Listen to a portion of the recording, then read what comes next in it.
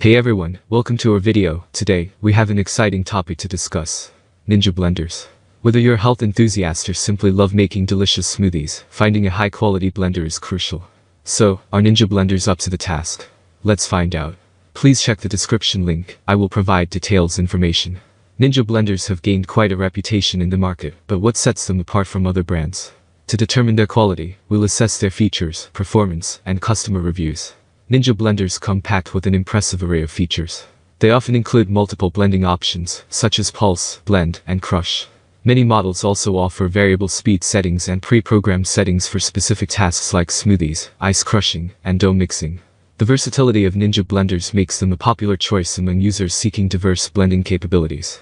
When it comes to performance, Ninja blenders are known for their powerful motors and sharp blades.